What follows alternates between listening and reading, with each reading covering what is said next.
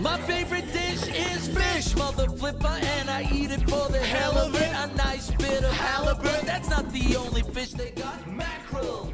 I could take more than a snack full. Salmon with some jam, and I could drink it by the tapful.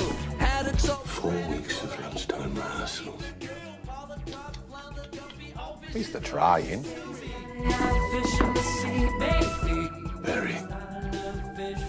Your fish is delicious.